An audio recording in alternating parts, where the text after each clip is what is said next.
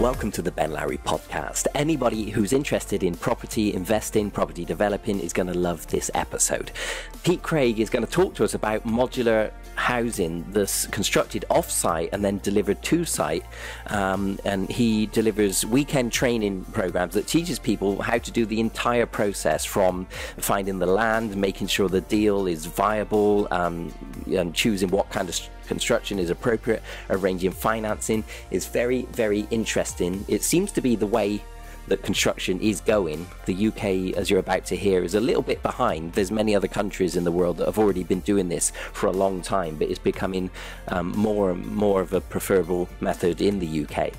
And so Pete is on a mission through his property development company, Bishopsgate, to create change within the property industry as an off-site, modular, and MMC evangelist, property trainer, developer, and mentor featured on Property TV and on YPN magazine. 30 years of experience managing real-world businesses within multiple industry sectors, including leisure, security, recruitment, manufacturing, event management, tech, e-commerce, sales and marketing, with a focus on operational, marketing, and business, business even growth strategy. Pete has delivered extraordinary results within multiple niches, including generating a million pounds plus in sales revenue in 12 months for a recruitment company, creating a sales and lead generation network responsible for 1.8 million in sales, adding six figures to a client's coaching revenue, and creating multiple six figure online product sales funnels not to mention raising multiple six and seven figure investments for technology startups. Pete works in and with startups, foundations, business owners, and entrepreneurs as an in demand consultant, coach, and mentor, supporting every aspect of the journey. Enjoy the episode. Hello, Pete. How are you doing? I'm very good, thank you. Very good. It's been a long time. Yeah, it's been a long time. Um, I'm. Thanks for coming on the podcast today. I'm looking forward to our conversation. My pleasure. Do you know what? Until recently, I didn't realise you were so involved in the property business and um, this this mo- what do you call it? Modular off-site. What, what's it called? Yeah. Yeah, so off-site modular construction. Yeah. Yeah. So give us an overview of what Bishopsgate does, then, Pete. Um, so Bishopsgate is a, uh, a development company. So we have two businesses: a development company and a training business. Uh, both were set up um, tail end of tail end of 2017. um, the development company, obviously, to uh, to build houses. You know, one of the things that uh, that I was keen on after spending some time in the in the tech sector, um, where it's actually quite a gamble. Um, you know, investing in those types of businesses and uh, and working in those types of businesses, it's very much a gamble. I wanted to I wanted to do something that was uh, that was a little bit more backed by kind of like bricks and mortar and had a little bit more um, stability to it and so started looking at uh, looking at property and uh, the different options or different things that were available within the property space. And the only one that really excited me was uh, was developments. Excuse me, and um, not not having kind of like built a house ever before in my life, or not having had any any experience in that space. You know, I did what I've what I've always done over kind of like thirty years in in, in business now. It makes me makes me feel really old. Um, was just to kind of look at you know what my strengths were, what my weaknesses were, and where uh, where there were gaps in the skills that I would need to create a development company and to create you know that type of business, and set about building a, a small team of people that could help execute on on on that business. And our as a company, you know, Bishopsgate are focused on using modern methods of construction. So there's there's a there's a whole bunch of like different uh, acronyms and things flying around where where offsite construction is concerned. So, offsite construction, I, I, consider to be the overarching term for anything that isn't isn't built on site. Uh, modern methods methods of construction, then you know, kind of talk about things like you know, um, modular construction, volumetric modular construction, timber frame construction, panelized systems, and all these types of things. So. Um, it was it was my goal because I didn't have this kind of traditional um, construction background it made sense and it made things much easier for me if we were able, as a developer, to uh, to use um, uh, uh, to use these new new modern methods where you know essentially you're working with just a couple of uh, uh, two two contractors, uh, a contractor to do the groundworks and the and the foundations, and a contractor to do the um, to do the build of the build of the homes. Yeah, and the, ex- the exciting thing for me was that you know these uh, these homes can be installed on site in you know, in a, in a matter of hours. Right. So you don't have a construction background yourself, like you're not a builder, a plumber, an electrician, nothing like that.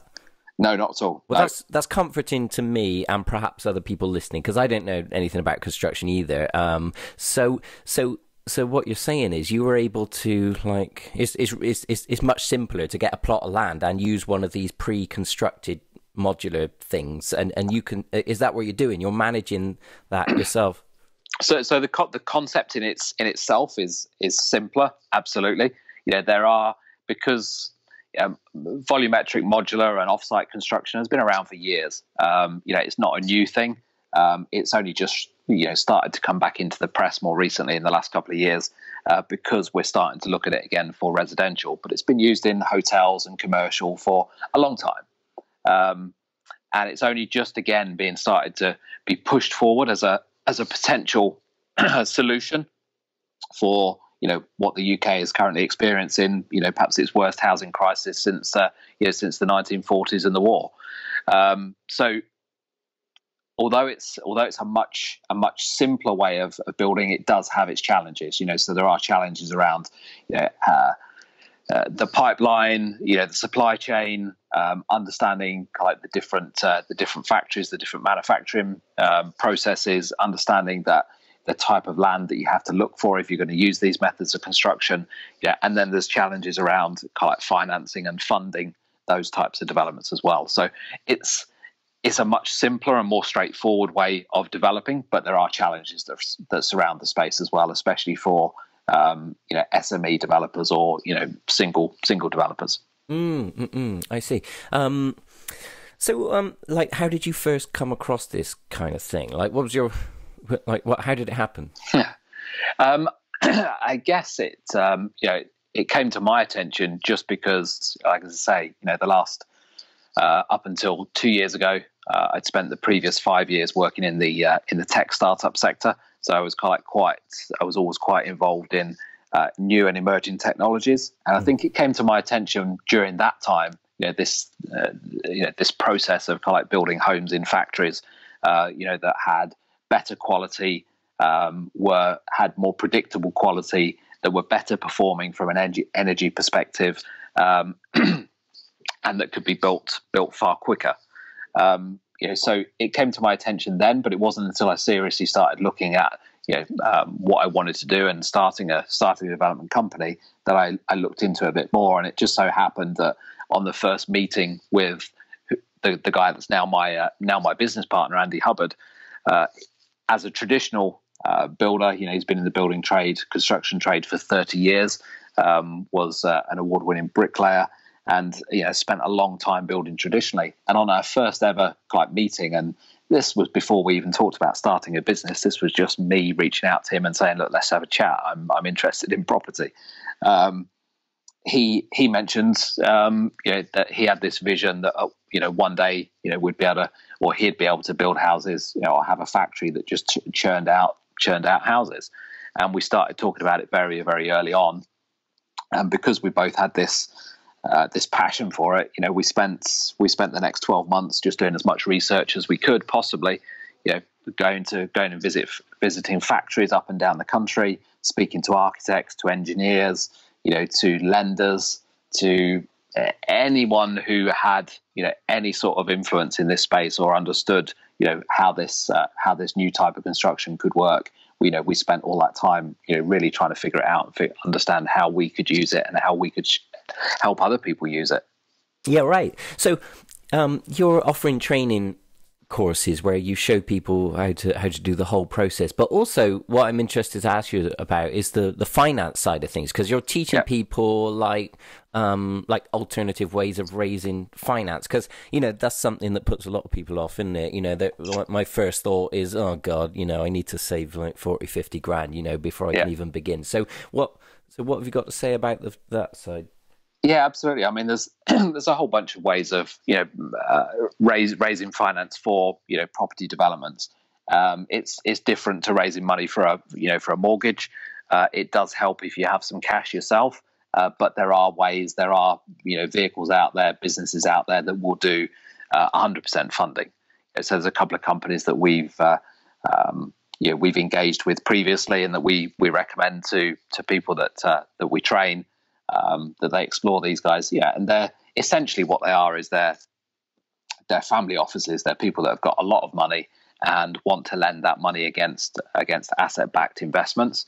And as a result, you know they have a very strict kind of criteria, the type of properties they're looking for, the due diligence they do, and if you can present them with a with a development that meets those criteria, yeah, then essentially what they'll do is they'll fund the whole the whole process, um, everything from purchasing the land, the surveys, uh, everything that you need doing, including the build, and um, then they split them split the profit with you at the end of it.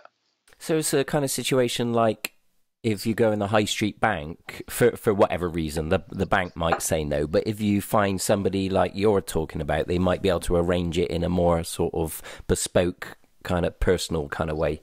Yeah, absolutely. So you know, there's there's yeah, there's there's development finance, specialist development finance out there anyway. Yeah, and those guys will typically lend you know 65% of the money that you need, um, and then you can go out and raise yeah, perhaps raise the other 35% from uh, private investors uh, friends and family, those types of things.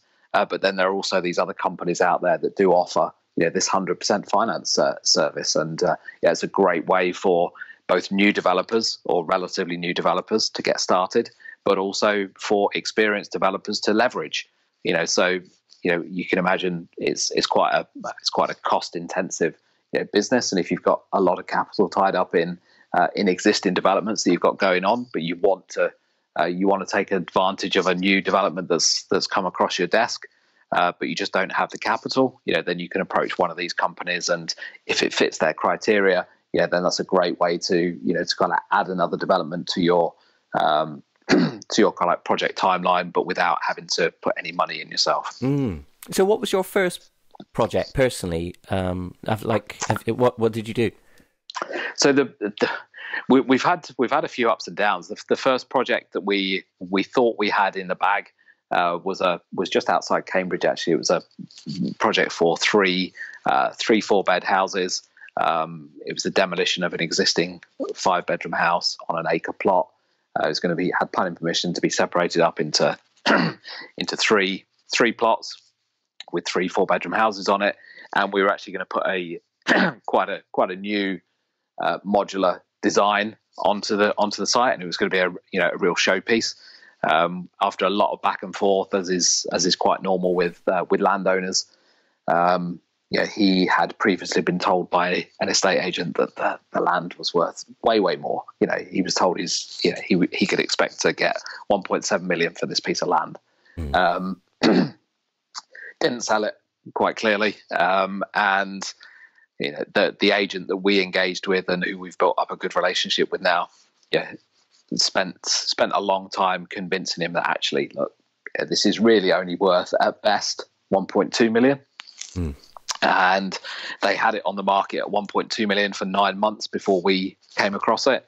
And when we ran our numbers on it actually the real value um, and the only way it worked was was at about 750 mm you know, so from his perspective, there was a lot of pushback, you know, because you know, in his you know what it's like. In his head, he had he had this you know, 1.7 million figure still in his head from what the first agent had told him, you know, and he was he was already spending that money, yeah, um, you know, and then we came along and told him actually, no, you know, we we're only going to give you 750 for it, uh, you know, so straight away he's thinking, oh, I've lost a million pounds, um, and but but we managed to we managed to collect do a little bit of negotiation, and we we increased a little bit, and he came down a little bit, and we settled on an offer. Um, put the offer in. We were just about to go to exchange, and he had a stroke.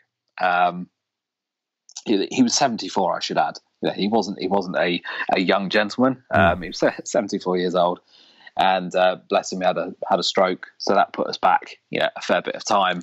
And when he came back to us, he changed his mind um, and decided that actually no, he wanted at least another two hundred thousand uh, pounds for the site, which just meant it didn't work for us. So we spent we spent about three months working, three four months working on that particular deal, and only to have it fall through. Um, and so alongside you know the research we've been doing on this new uh, these new methods of construction. Uh, while this while all of this has been uh, going on while we've been doing this research, what's also been happening in the in the property market is that you know the market is starting to soften and prices are lowering quite quite a quite a bit. Mm. And what we've noticed is that lenders are down down valuing. Um, you know, so if if you if you want to borrow borrow X amount of money, the valuers are, or the lenders, sorry, are discounting that. They're discounting the end value of the properties. Mm. You know, buy anywhere you know between five and ten percent, so you're getting less money. Uh, valuers, when they're valuing properties to be to be sold, are valuing at between five and ten percent less than market value, mm. and but landowners aren't. So landowners are still expecting top dollar, um, but everyone else is down valuing. So so we've been we've been very very cautious not to call it just run in and uh, and get caught up in a deal that could potentially cost us money. Mm. Um, so after that after that deal, you know, we're now working on a on a pipeline of deals, and there's probably about 20 deals at the moment that we're uh, we're looking through. Um, one of those we've been working on since January, no, since uh, probably since November last year, and uh, later this month we're we're hoping that we're going to be able to secure an option agreement with the uh, with the landowner. The landowner is a uh, is a guy who lives up just south of Yorkshire, and we've been working with him to uh, to develop this uh, develop a plan for this this piece of land that he wants to sell. Uh, so hopefully we're going to be able to secure an option agreement with him, which then means we can take the site through planning permission, and uh, yeah, that should be a 12 to 18 month uh, 18 month build, and that will be for 40 approximately 42 houses. Wow, uh, so, big project. So it's yeah, it's a reasonable size. Yeah, so that's that's the one that's kind of like closest right now, and then we've got another one down in West Sussex, which is kind of like not not far from you, um, which is I think is going to be for about 10. Um, and these these will all be the same house type. So the plan is to use a use a house type called the N house. So if you want to have a look at um, you know what what modern architecture and modular can can look like you know in real um, in real terms, you know then the N house is uh, is a great example. And know, for many reasons, I love that particular that particular design and that particular house. Not least because um, it actually looks it actually looks pretty uh, pretty sexy if you ask me from a for a, for a house. Um, but it's because the materials it's built out of, it's extremely energy efficient, and the running costs for a three bed house, you know, um, are about two hundred pounds a year. Jesus. Um, yeah, uh, so it's yeah, it's it's very very energy efficient. So yeah, and this this is part of the reason why I kind of like really really love kind of the offsite uh, the offsite construction because it does allow us to create homes that are far more uh, far more energy efficient. Uh, is the construction cost of these things, the build costs, is it significantly less than traditional construction methods? At, at the moment, it's the same or higher. Oh, right. Oh, I thought they'd yeah. be less. Right. Okay. No. No, so so there's there's a there's quite an argument going or a debate going on, should I say, in the in the industry. You know, some people are saying, well, actually, you know, if it's if we're building them in a in a manufactured way, we should be able to bring the cost down. And you know, then there's another camp that are sort of saying, well, yeah, in no other industry where the quality is better, would you pay less? You know, you wouldn't you wouldn't expect to pay less for a BMW than you would for a Fiat. Um, you know, because what you're paying for is the quality. So if the if the quality of the product is better, yeah, then one one kind of like camp are arguing that yeah, the, the price shouldn't actually come down. The price should always be yeah, a premium. Mm. Um, but know, at, at, the end of the day, know, house prices, you know, need to need to come down. Build costs need to come down. Traditional build costs are, are going to continue to go escalate because material costs go up all the time, labour costs go up all the time, and you know, to top it all off, there's a skill shortage in the UK. You know, so in some areas, you know, bricklayers are earning, you know, three, four hundred pounds a day at the moment. Mm. Um, but there's not many of them. Yeah, there's, there's a shortage of them. So those prices are only going to continue to go up, and the labour that's available is going to go down. Um, you know, which means that we're going to be able to be we're going to be um, able to build less houses traditionally unless we fill that gap of skills skilled trades. So this is where like this this offsite construction, yeah, I think can can fill a gap and uh, and help to solve a problem. Yeah, I see. That su- surprises me that people are charging more because, yeah, my presumption was that the you know the manufacturing process would be more efficient and uh, all the rest of it, and it would be cheaper. And um, if, if if if certain manufacturers are saying, well, it should be more expensive because it's better, I I my I think that the competition in the market will undercut that if if there's other manufacturers willing to do it less. I, yeah, I think that you know there's a there's a lot of work being done across the industry to try and you know bring those bring those prices down to try and systemize um, and normalize, standardize, if you like, the um, the processes because you know right now there's there's only a limited number of factories in the UK. It's very new from a uh, from an industry perspective, and as a result, you know each of the individual operators is getting to grips with um, how their business how their business works. And until they have the pipeline of uh, of orders coming through, they can't drive the prices down right? You know, because because obviously they've got you know, high overheads in. You know, most, most of these factories are a minimum of hundred thousand square feet um, of space. You know, so that's that's not an insignificant investment to um, to take on a unit that size. Mm. Yeah, then you've then you've got the you know the investment in um, both the materials and uh, and the equipment, and then there's the the investment in the staff. So all of those overheads are there, and until the pipeline is coming through, you know, most of these 100,000 square foot factory should be able to deliver, you know, between three and 400, um, three and 400 houses a year. Yeah. You know, so until that pipeline's there, they can't even start to think about driving the price down because they don't have the they don't have the quant the, the quantity of orders. Yeah, right. Um, yeah, yeah. So, so, you know, once once this becomes more mainstream, and once um, you know more and more developers start to start to use this type, and you know the government are are supporting uh, offsite manufacturing. Homes England are supporting offsite manufacturing, and uh, local housing associations um, or housing authorities, sorry, and housing associations are now, you know, being uh, being encouraged uh, to look at, you know, offsite as a way to fill their housing quotas. You know, so as as all of these things start to come together and we start to see more orders going through the factories, you know, I would expect to see you know, some standardization, but also some reduction in pricing. I was just going to ask you actually if the local authorities are more favourable of this kind of thing because you know because it's more environmentally efficient and stuff. Absolutely, yeah. There's there's a lot of cases that we're seeing already where um, you know planners are starting to you know stipulate that you know if a site is going to be developed, it should be developed using offsite um, offsite manufacturing uh, techniques. Um, you know, to give you a give you a great example of this, there's a uh, there's a um, there's a development in in London uh, in Dalston called the Dalston Works, hmm. and it's actually the largest, uh, the world's largest um, CLT, so cross laminated timber modular building in the world. Um, that they estimate if they'd if they'd built it in traditional construction, there would have been at least 900 um, lorries lorries turning up to site a- across the course of the development. Yeah, so 900 uh, big lorries and deliveries you know, go not only the the disruption to the you know to the local area does that cause but also kind of the CO2 CO2 emissions and all those those types of things. Mm. that that impact is huge. Whereas they actually when they actually calculated it with the with the methods they did use I think it was it was something in the region of either 109 or 119 deliveries. You know so it was a massive reduction from you know like 900 plus um, you know deliveries to just over 100. Right. You know, so the, the, the, CO2 emissions and the disruption to the local area are massively, massively reduced by using this type of this type of construction. And I hmm. think you know that's that, that's one of the things that the uh, you know the councils are now starting to see. Yeah, I would presume it must be much more efficient. Yeah, in terms of energy, environment, everything. Yeah, I, I, I would presume they, they surely must be more in favour. mm. Yeah, yeah.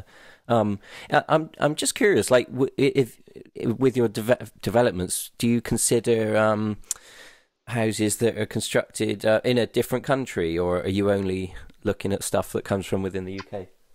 No, absolutely. I think um, so. One of our colleagues that actually spent spent the last eighteen months building relationships with uh, with offsite manufacturers across the whole of the Baltics, so Lithuania, Latvia, Estonia, um, and even even a couple in Finland as well.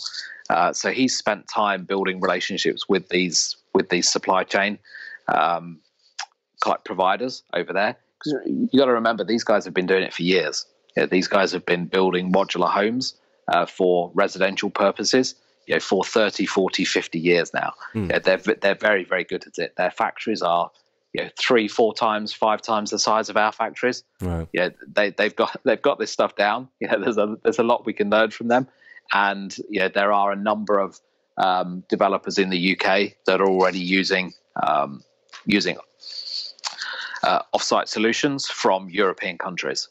Yeah, right. So we're playing catch up, really, are we in the UK? Yeah, absolutely. And I, I, you know, the reality is that you know, with the number of factories that we've got and the the capacity that each of those factories has, as I said, you know, typically kind 300 to 300 to 400 a year. You, you need a lot of factories to you know even scratch the surface of of the shortage that we've got. Um, so it does mean that in the UK there is going to be a capacity issue if this type of construction is widely adopted. Uh, so I, I, do believe, yeah, as does my as does my uh, friend and colleague um, Richard, that you know we need to we need to embrace you know collaboration with uh, you know with our, our European counterparts. Mm, yeah, I don't see why not. Yeah, whoever's making them the best and the cheapest is certainly who I'd buy it from. yeah, absolutely. Yeah. And um, yeah, um, I was just wondering, are shipping containers like a, a real option, or is that more like a novelty thing? No, it's, uh, they are actually being used in a number of uh, in a number of different systems. Um, you know, right now um, across the country, and uh, uh they they do help to bring the bring the pricing down. Right. Uh, so yeah, there, there is a there is a market for those, and there are a couple of uh, couple of organisations that are you know, doing doing great work using um, using shipping containers to create affordable um, social housing. I mean, like if you were on a real low budget, say say somebody only just had a little bit of cash, what and, and they had a plot of land, what's the cheapest option as an alternative house? Jeez, um, to be honest, I it depends. There's there's so many quite different uh, different factors, so it depends a lot as well where you live. Know, so obviously, you know, building in the north of England yeah, it's far cheaper than it is building in the south of England if you're using traditional labour. Mm. Um, there's there's a lot of there's a lot of weird and wonderful ways to build houses that are that that are cheaper than any of the any of the collect methods that we've been talking about so far. Mm. Um, but I, I I wouldn't know which one was the cheapest. Yeah, yeah, right. Uh, well, I live in the Hollywood Hills of um, Newport, South Wales now, so all right. There's a there's a lot of nice land and um, views yeah. and mountains and farms and stuff. So um, I've recently started getting involved with a joint venture group, and um, actually, I you know I'm going to tell them about this because I think this will be really interesting for what we're doing. Um, I've only just started, so I, I don't yeah. have any stories to tell yet. You know, we haven't cool. done any projects yet, but yeah. um, cool. through the course of this year, you know, we'll be doing stuff. So absolutely. So the, one of the guys, there's a there's a there's a guy who's on uh, in one of our mastermind groups. Um, he's actually uh, lives in Wales, and he has just he's just about to do his first development using the the N house. So it'll be a development of three houses in Wales. All right. So so it'll not only be one of the first developments of that house, but it'll also be the the first development of that house type in Wales. So what's the mastermind group then? Uh, so essentially, you know, uh, a lot of a lot of people when we were running the training um, kind of followed up with us afterwards and just said, look, you know, we we got a load of great information out of that, but you know, and and we can move ahead and we can do these things, but we really don't want to do it on our own.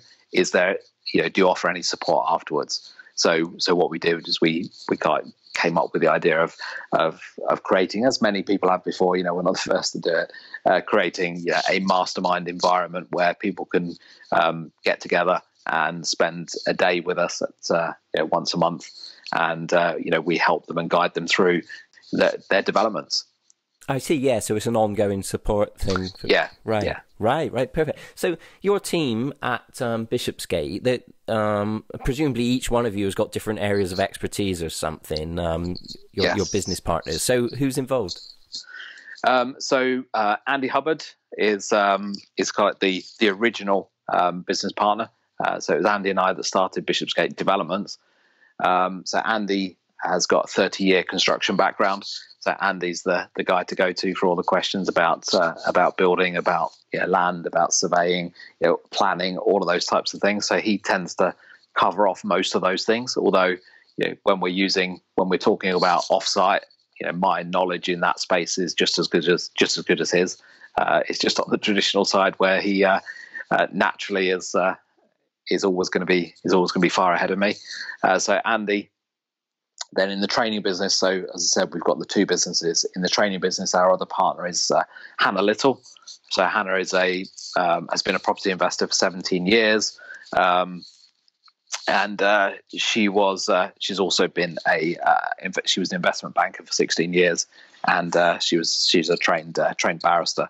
So Hannah Collett brings a whole bunch of yeah, other experiences and uh, and knowledge to the table. Not least, you know, her experience as a as a property investor, but also her, her knowledge of of banking and raising finance. And you know, she she talks a lot and helps a lot of people with. Um, with SSAS pensions, so using uh, small self-administered schemes um, as pensions, you know, to invest in uh, in invest in development projects. Um, and then in the development company um, is uh, we've actually got another partner called Matt. So Matt Little, actually Hannah's husband. Uh, so he's in the uh, he's in the development company. Matt is uh, is currently a um, an officer in the Royal Navy, still serving at the moment. Uh, but he kind of acts, he works as our commercial director and uh, kind of builds relationships with housing associations and uh, and negotiates on some of the some of the larger deals that we're looking at right now. So, what can people expect if they come to one of your weekend trainings?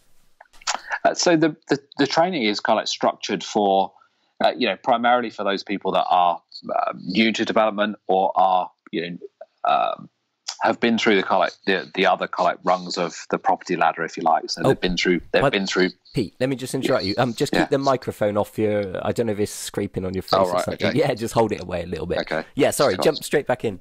Yeah. Um, so so yeah, it's typically aimed at you know people who have been had buy to let property portfolios, um, have perhaps done you know, HMO house of multiple occupation strategies, you know, have done serviced accommodation and feel like they're ready perhaps even done commercial conversions, and they feel they're now ready to kind of like take their their property business to the next level and start doing property developments. So um, it's aimed at it's aimed at those guys. It's also aimed at people who have never done development before, have thought about it but were scared because they you know, they felt that they just didn't understand it. And what we do is we take them through the whole process. So it's not just understanding about offsite.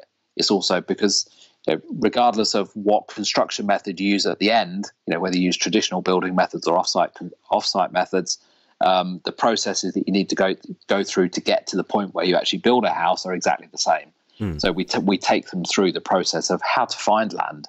You know, you know where do you where do you find land and how do you find it?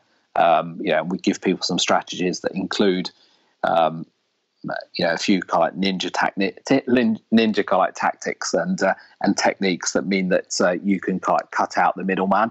Uh, so rather than going through an agent or going through Rightmove, you know you can actually find land direct to the vendor that, that wasn't previously for sale and negotiate of purchases of land that um, you know perhaps the vend- perhaps the vendor had never even thought thought about selling.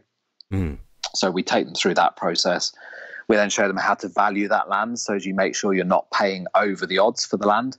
Yeah, because a landowner was like like the example I gave you earlier. A landowner will always have a number in his head that he he feels that land is worth. Um, but what you've got to remember is not to be kind of pulled by that or driven by that. You've actually got to do your numbers and work out what you can actually afford to pay for the land. You know, so there's a formula that we uh, we share with people that helps them understand exactly how much they should be paying for land, so they never offer too much, um, because that's that's usually what catches uh, uh, catches developers out, or or any business, for example. You know, if you uh, if you don't know your numbers, then you know you get caught out at some point, and uh, that's that's quite often, um, yeah, unfortunately, when when businesses go bust. Uh, so then, when we've taken them through that process, we show them how to analyze the deals, how to assess the deals, and, and more importantly, how to assess for the right construction method. So, as I said, you know, there's there's traditional, there's volumetric, um, modular, there's SIPS panels, there's timber frame, steel frame. So, when we assess a site, we go through each of these. So, we because we want to develop with volumetric modular, we always assess first for volumetric. If it doesn't work for that for on on any level, whether it's price, whether it's site accessibility, yeah, anything at all, yeah, then we move from that. We discount that fairly quickly, and then we'll move on and we'll assess it for you know, perhaps using SIPS panels as a um, uh, as an alternative method of construction. If it doesn't still doesn't the deal still doesn't stack up for that, yeah, then we'll look at something like steel frame, then timber frame, and then traditional construction. So what we're not doing is telling people that they should only look for volumetric modular sites. Yes, those are potentially the quickest and the easiest way to build, but um, you know what you don't want to do is um, is turn down good developments just because they don't work for that particular method. So we take them through those processes. Um, yeah, then we take them through the build process and how to raise money and where to find money and all all of those bits and pieces. So essentially, they leave the three days with a real solid, like uh, foundational understanding of how to go out, find land, uh, appraise the land, value the land, um, assess uh, the build types, and move move towards um, actually putting offers in. We show them how to put offers in, what uh, what sort of information they should be presenting to uh, to the vendor when they put an offering, how to present themselves as a business. Uh, so yeah, I do a whole section on on collect business and uh, um, and how to get real traction as a um, as a new business and uh, and then we show them how to, like I say, how to raise the money, how to secure the deal, um, and then how to move on to to actually building it out. I've seen the course fees, and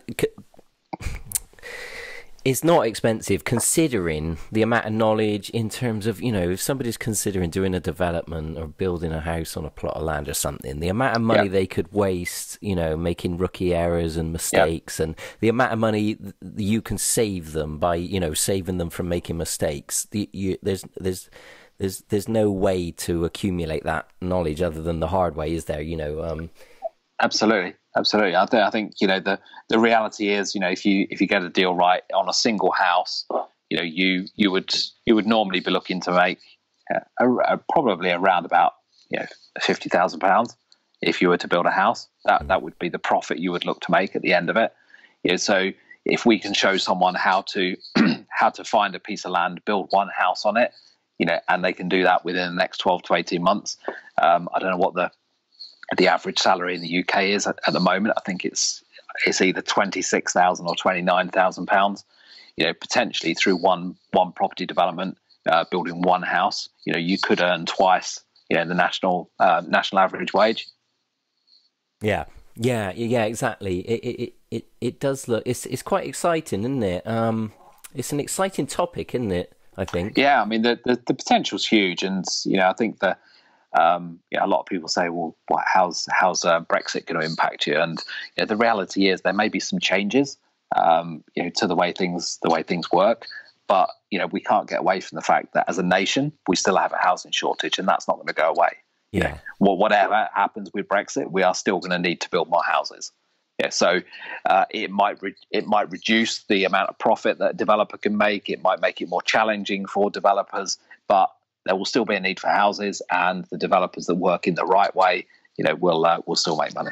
And by doing things and structuring a deal in creative ways, as you're teaching people to do, it puts you it puts people ahead of the curve, doesn't it? You know, when you think that the the the, the, the average person, the masses, are just going into the bank or going to the mortgage broker and just finding out how much money they can borrow, and then you know finding a house that fits their budget. That's what most people are doing, isn't it? But by learning alternative m- methods of getting it done. You know, there's um, it's almost like there's there's more opportunity if you're willing to be a bit clever about it, isn't there?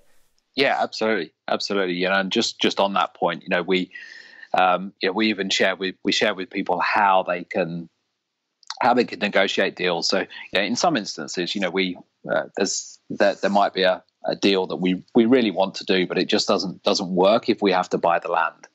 Um, if we have to buy the land and we've got to finance the land as well as the build cost, you know, their numbers just don't stack up. So in some cases, what we do, and this is something we again we teach on the on the three days, is you know, we'll um, we'll approach the vendor and say to him, right, look, we'll be transparent, we'll share our numbers, we'll say, look, you know, we really want to do this, but it just doesn't stack up like this. And what we'll suggest is a joint venture, whereby the landowner puts the land into the SPV, the special purpose vehicle that's created for the development project, and we bring all the finance costs for the development. Uh, we build it out as if we're building it out together, and then at the end of it, we we share the profits. Yeah, right. So you don't even have to buy the land up front. You just do yeah. deal with the landowner. Yeah, yeah. That's one way you know, of doing it. And and it's it's it's thinking. Uh, sometimes you just have to think a little bit creatively, you know, in order to get a deal done. And there's there's lots of of little little ways of, you know, kind of getting getting over some of those hurdles that uh, that we share. And that, uh, as you say, you know, that's that's all just based on experience. And you've got the other seminar which is available, which is the financing thing. So I know you've kind of touched on it a little bit, but what can people expect from that? Uh, so the finance one is not one that we're currently running. Um, that that was one that uh, we kind of ran last year, but we haven't actually scheduled any dates for that this year. Okay. Uh, but essentially, that's uh, that kind of goes much deeper on the. Uh, do you imagine over over the course of just three days? It's there's a lot of information. I mean, I think uh, on the last course, our our workbook that we give people was was 300 pages 300 pages long right. um, printed on double sides. so there, there, was a there's a lot of content um, over that over that uh, that period. So the the finance course was really kind of just a, a much more focused uh, two days, purely based on raising finance. You know, and that's everything from you know understanding your numbers, being able to analyze your deals, um, presenting your uh, presenting your opportunity to an investor or to a development finance uh, company, um, using things like crowdfunding platforms, um, using things like SSAS pensions. Know, so it's just a deeper dive into uh, into the different ways that you can finance a development. So, for the time being, if people just go to the the main page, is that the best thing to do for now? Yeah. Yes. Okay. Yeah. Um, on a slightly different angle, um, yeah. have you ever heard any really catastrophic disastrous sort of stories of people just getting it all wrong. I mean, I don't want you to kind of gossip about people you know, but I'm just it's kind of interesting to hear mistakes people have made. You know. Um, just just in in developments in general. Yeah, that's what I meant. Yeah. Uh, um, yeah, I mean, there's there are all there are always issues, you know. And there's a there's a couple of guys that I know, you know, who right now, you know, they've they've been in this space for for a long time, 30, 40 years, and um, you know, they're seeing a lot of developers right now kind of getting unstuck because they're entering deals um, where they're too highly leveraged, right. and uh, and the deals are deals are changing or the market's changing, the values are going down, and they're ending up not being able to um, not being able to get themselves out of it and pay their investors back. Yeah, and that's causing them to causing some people in some cases to uh, to go bankrupt. Um, yeah, so there's a couple of other examples where uh, the, the developer has engaged a main contractor, and that main contractor has, uh, has stopped stopped work for one reason or another. You know, they've had their, their own challenges as a business, and they've decided they don't want to do it, and yeah, that's then left the developer with a situation where they've had to find a, another contractor to take over the work, mm. and yeah, that's not easy because contractors don't like to take over other contractors' work because they don't know what's been done beforehand. You know, so essentially they're taking on liability for you know another company's work, and they're not keen on doing that. You know, but in the interim, you know, while these guys were trying to find another contractor, you know, there was three, four months where there was no building work going on, and uh, yeah, and they still had interest uh, interest payments to make on their development finance. Yeah, you know, um, and they're you know potentially you know faced with a situation where um, you know they'll be able to pay their investors back, but after you know, eighteen months, two years of uh, of work, they won't actually make any money. Yeah, this is what's interesting. Like when it goes wrong, because there's such big numbers involved. When it goes wrong, it can go really wrong, can't it? With this mm. stuff, um, and, and and I presume, like you were saying, because of uncertainty over Brexit and the valuers are writing down the you know the value of the property by five or ten percent. I presume you know some people that are highly leveraged might be coming unstuck with that. Are they? Uh, yeah, absolutely, absolutely. I think you know, I I was with uh, I was with one of our funders last week, a family office in uh, in Mayfair, and they they said you know they're seeing two things. They're seeing developers doing what we're doing, and that's actually kind of like taking our time and making sure that you know, anything that we put an offer in is going to work, yeah, and not feeling pressured, you know, to to get a deal just for getting a deal's sake. Yeah, and I think you know sometimes as humans and as business owners, you know, we we're you know we're naturally quite competitive. Yeah, that's otherwise you wouldn't be in business in the first place. And so you want to be doing something, and you want to be doing what you're telling people you're doing, and so you kind of like get caught up in that. Um, you get caught up in that uh, kind of rhetoric, and you end up, you know, committing yourselves to things that just don't work or that you wouldn't do if the situation was different. And you know what we're trying to do as a business is is manage that internally, manage our egos internally, and uh, and just say actually, look, you know, these are the parameters we've set ourselves. If these things don't fit those parameters, then we're not going to do it. Uh, yeah. and rather rather be pushed. So he's seeing you know two things. He's seeing the guys that are doing that. He's and then he's also seeing people that are you know getting carried away and they're just going out and they're buying things um, at the wrong price. They're buying things you know, without considering um, you know their funding partners. And you know he said it's actually leaving them in quite awkward positions because you know in some cases they've now bought a property or committed to buy a property or a piece of land for development and they can no longer get the uh, the finance in order to complete the development. Yeah. Yeah, so they've so they're they're committed to buying it. They've got to buy it. Yeah, but if they can't make the number stack, so that someone will lend them the money to build it out, yeah, then they're just going to be left with a debt that they have to keep servicing it's really interesting on the psychology side of things like that like you said with the ego like because i learned that in a couple of different ways. I used to kind of da- i went through a phase of dabbling with the stock market and i was getting mm. lessons and stuff and i remember it was the same thing with that. Like if if your ego's invested in it and you want to be doing a deal you want to be buying stuff you want to you want a good pub story you want to be able to tell people about it you're going to end up you know that's not what you need is it you need patience because yeah, exactly. yeah. sometimes it's just not the right time to be doing a deal and you just got to wait even though you're not going to have a cool story even though it might be nicer to say yeah you know we're building 10 houses but that that that can catch you out can't it yeah, that that need absolutely. that need for a story um, I mean, there's a, a, perfect example of that. There's a um, there's a, a female developer actually, a lady called Nicole Bremner, um, in the, who invests and builds in primarily in London and yeah, I heard her speak um, just before Christmas, and and she was saying she hasn't bought anything for two years. Mm. You know, for that very reason, because the prices are, yeah, everything is overpriced, and she's not finding anything that meets, you know, meets the criteria that she um, that she's comfortable with. And so, rather than just buying something for the sake of, you know, buying it and developing it, um, under under the banner of I'm a property developer, so I should be developing property. Mm. You know, she's actually been just sitting tight, doing other things, making sure that the developments she has got are running smoothly. Um, and she hasn't bought anything for two years. It's probably getting closer to two and a half years now. Yeah, totally. It reminds me of poker as well. Have you ever played poker? I haven't no. Because it's a similar kind of principle. You you have to yeah. fold a lot of cards. Like you get dealt cards, and if they're crappy ones, you know, like the, the good players will fold a lot. They'll only actually play, you know, every so often. Um, yeah. But then, like the the sloppy players, the loose players, the inexperienced players will start betting on sort of any pair of cards just because they want some action. It's the yeah. same analogy, isn't it? Exactly. Yeah. Yeah.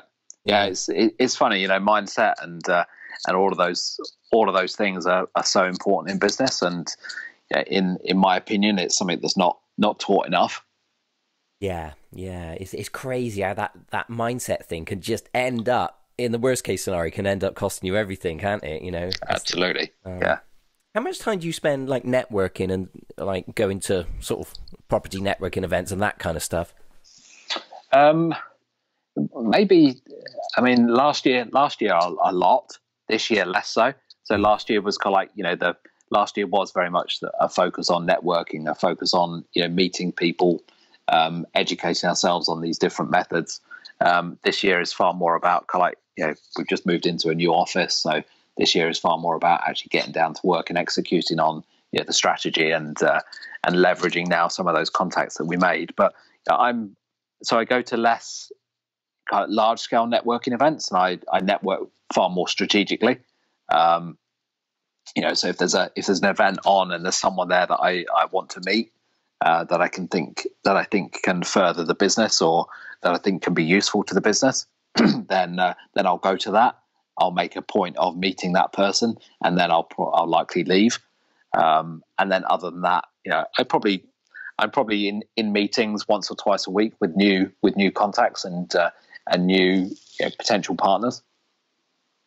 Yeah, yeah, yeah. I was just curious. Um, Yeah. I, I only recently started sort of investing my time in is uh, in uh, networking a bit more, and yeah, it's quite fun, isn't it? Especially if you haven't done it for a while. Yeah, absolutely, absolutely. I mean, it's. I mean, I'm starting to, uh, to towards the tail end of last year. I actually started to to speak a little bit more as well. So yeah, I've done a I've done a couple of talks now um, at various different places, and uh, yeah, I find that's yeah, I found so far that's that's been a great way of.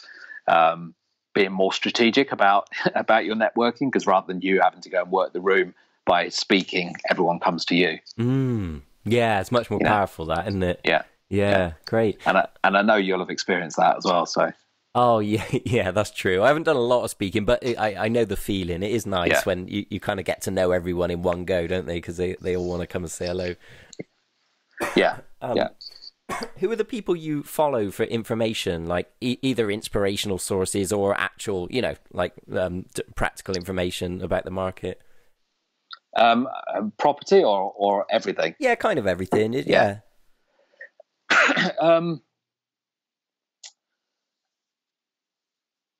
that's, that's, a good, that's a good question.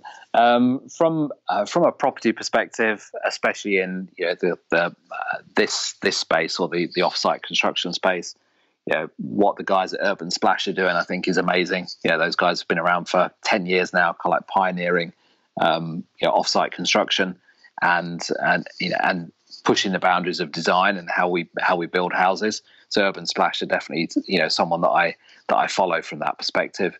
And then there's a couple of of architects and things that are that are doing good things. Uh, for instance, Waugh Thistleton, um, who are architectural practice. Uh, I think they've been involved in quite a lot, if not um, most of the big uh, modular, developments that that have been going on, and they're a big proponent of things like CLT, cross laminated timber.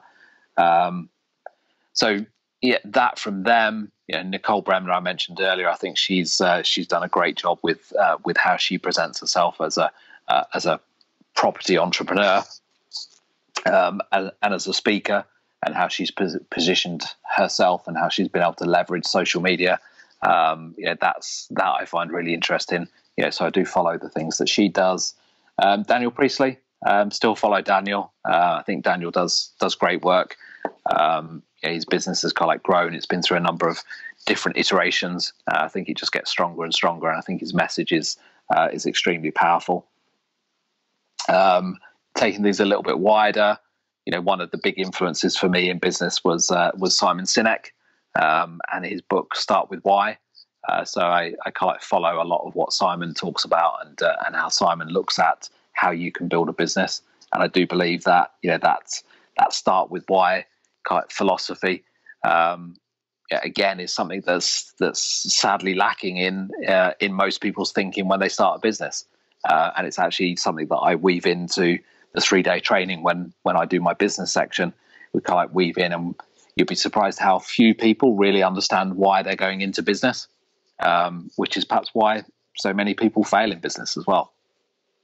Yeah, yeah, interesting. Those are names that I'm not familiar with, so I'm glad I'm asked. Uh, uh, glad Yeah. I asked. So I can follow up on those and have a look. Um, well, Um, I feel like perhaps we're getting near the end of the conversation. Is there anything that we haven't discussed that's important?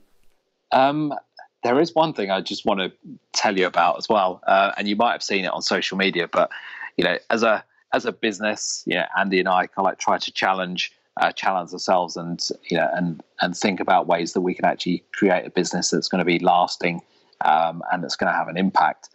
And um, we actually decided uh, decided this year or end of last year that we were going to push ourselves a little bit this year physically as well. And so both Andy and I have signed up for the eight for the 2020 Marathon des Sables. Um, So- not sure. What's that? So the Marathon des Sables is is actually dubbed the toughest foot race on earth, Oh, um, and it's a an ultra marathon, uh, 250 kilometers across the Sahara Desert. Jesus! What? Uh, so yeah, over so six and a half marathons, um, 250 kilometers uh, across. I think it's about six and a half, seven days. Okay. so what's that? Are you raising money for something, or what instigated yeah. it? Yeah, so so it's it's as much you know for us personally, you know, to to break because if we can break through those barriers, you know, a couple of friends of ours have done it and told us that, you know, from a from a mental perspective, from a mindset perspective, you know, the breakthroughs that you have, you know, set you up for, you know, for for anything. Uh, so from you know, we're doing it to push ourselves and challenge ourselves, but we're also doing it for charity. You know, when we set the businesses up, we we wanted to make sure that there was also a charity angle, and so we're raising money for um, Macmillan, um, uh, SSAFA, uh, the forces, the forces charity, um, uh, LandAid, uh, which helps, uh, which is the property industry kind of like charity for providing homes for young adults, homeless young adults, and then also a local kind of like charity called the Star Trust, which is kind of formed by a couple of entrepreneurs who who kind of run a run a number of events every year to uh, to try and of support local charities. So there's there's four charities that we're we're raising for, and we're hoping to raise twenty thousand pounds over the next uh, over the next like year, fourteen months. Oh, fantastic! Wow, have you done any extreme sport endurance stuff before? no, not at all. All right. So so yeah, this is uh, and and just before Christmas, I actually. Uh, um, I injured my knee and it's still not recovered yet, so I can't actually start start uh, training yet. Um, so it's a good job it's a year out because it gives me time to get my my knee recovered and then I can uh, then I can start training properly. Wow, yeah, that's cool, really cool. Um, yeah, awesome, Pete. Um, um, that was really informative and interesting. Thank you for taking the time to talk to us. So um, the the link is in the description. Um, is the training suitable for everybody? Like, do, do people need like um, an amount of money that they can are ready to invest before they should consider coming to your training, or or not? Um, not necessarily. I mean, we've we've had we've had all sorts of people, you know, come on the course. Some, you know, some with of like large large property portfolios who you know really don't have any any issues, you know, from a financial perspective. But then, yeah, others who are yeah aspirational developers and uh, you know, want to understand how they can how they can get started. Yeah, and the, the reality is, you know, once you've got an idea, if you've got a good idea and you frame it in the right way, and you talk to people about it, if it's meant to be, the right uh, the right partners will present themselves, whether that's an investment partner or whether it's a uh, yeah, a, a, business partner. You know, so I, I don't think there's there should ever be anything that stops you know someone who's interested in doing something moving forward with it and getting started with it you know, the, the knowledge will be there and the knowledge will last, you know, and the support that you'll get will will be on, ongoing of through our through our Facebook communities and uh, and bits and pieces as well. So even if you know people don't take action on it straight away, you know that knowledge is never lost, and uh, yeah, it's there to call on when you're ready for it. And being in a weekend like that is a networking thing as well, isn't it? Like you say, yeah. so you're going to meet, uh, you know, you'll probably end up, or you might end up doing deals or property deals with other people that meet at the training. Absolutely, yeah, yeah. I mean, there's there's already been quite a few, you know, kind of like joint ventures start to start to emerge from you know people that have attended the groups, um, you know, with us in the past. Yeah, yeah, great. Okay, so thanks for your time, Pete. That's fantastic. Um, the link is in the description for everybody who's listening. And um, I wish you all the best. And maybe we'll have another conversation later in the year and see how things are going. Brilliant. All right. Thanks for your time, Ben. All right, Pete. Take care. Bye bye. Bye now. Anybody who's interested in finding out more can go to benlowrey.com slash property developers masterclass.